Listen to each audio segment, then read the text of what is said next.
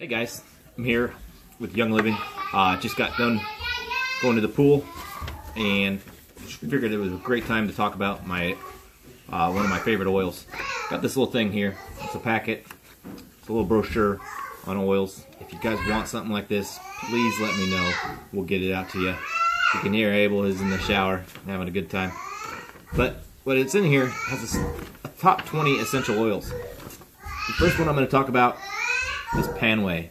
It helps with stiffness, bruising, sore muscles, relief, inflammation, all that stuff. My knee has been killing me, so I'm going to use that today. Um, also in this brochure, it tells you about the kit.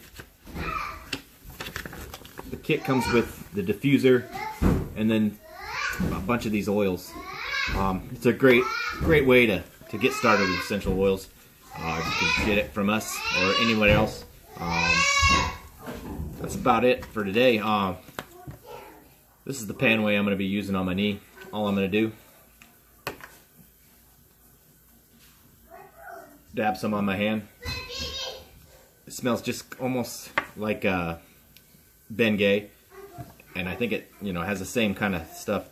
But man, it really smells good. It has like wintergreen, clove, um, peppermint, and there's one more in here. I can't remember what it is.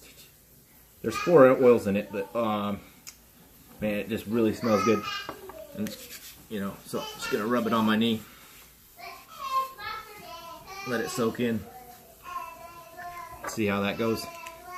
If you guys got any questions about Young Living, please contact us. Visit the Facebook page.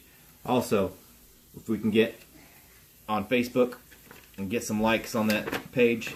Also, if you want a brochure, let us know. We'll get to it. Thanks. Hit subscribe. I'm, I need to get a thousand subscribers before I can make any money doing this.